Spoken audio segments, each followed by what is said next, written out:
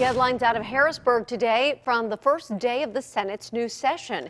It all started when Republican senators voted to remove Lieutenant Governor John Fetterman from his post presiding over the Senate. And Senate Republicans also refused to seat Democratic Senator Jim Brewster of McKeesport, who won re-election by just a handful of votes. Brewster defeated Nicole Ziccarelli by 69 votes. Political editor Jon Delano watched it all and has more on a day like none other.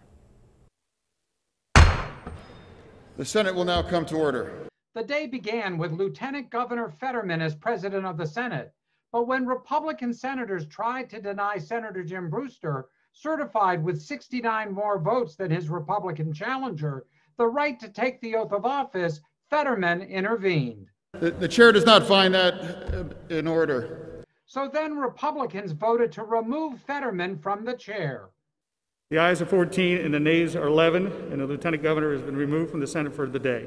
It has been moved by Senator the chair will not cede the that rostrum. that the results of the Senate District 45 been tabled The until chair such will time not cede the as the. Senate has had an opportunity for further consideration The of chair the will contest not petition cede the filed by rostrum. candidate Fetterman would not budge, but President pro tem Jake Corman, a Republican, stepped in to chair from a different podium, while Democrats read out loud the results for Brewster.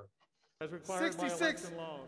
Election laws. 1,261 certified votes. When Fetterman called Brewster to take the oath, Corman refused to swear in senators with Brewster present. So ultimately, Brewster withdrew. I wanted the rest of the senators to have the opportunity with their families here, and in some cases their children here, to be sworn in. Uh, I, I was disappointed and flabbergasted that they removed the lieutenant governor.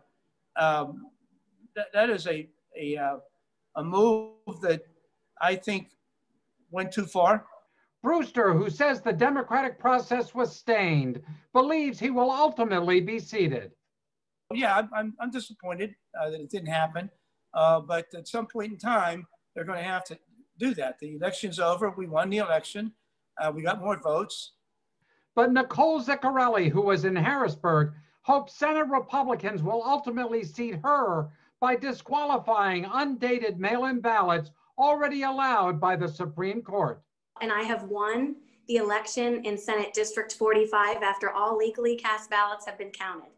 In a statement late Tuesday, the Senate Republican caucus accused Fetterman of, quote, hijacking the order and decorum of the Senate and said they would act without displays of partisanship. Jon Delano, KDKA News.